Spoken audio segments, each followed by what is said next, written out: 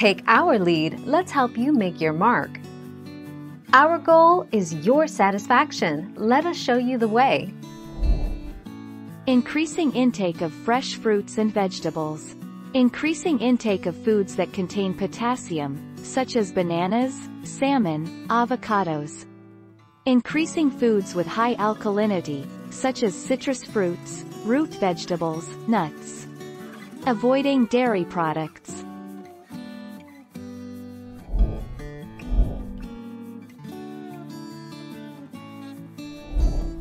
Take our lead. Cravings with boys, you crave salty and savory foods like pickles and potato chips. With girls, it's all about the sweets and chocolate.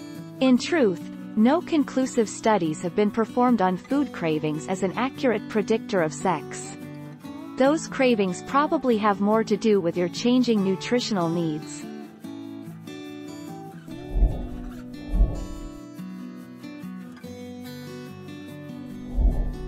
Take our lead. Folic acid is an important vitamin for both men and women. Getting enough folic acid can help decrease the risk of birth defects, and it may improve sperm count in men. They do make fertility supplements for men and women who are trying to conceive, but they are not all equal.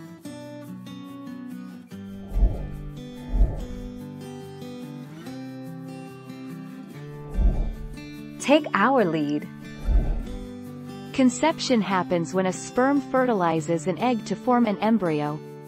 However, if there are two eggs present in the womb at the time of fertilization or the fertilized egg splits into two separate embryos, a woman can become pregnant with twins. Thank you for watching. Please subscribe and hit the bell notification.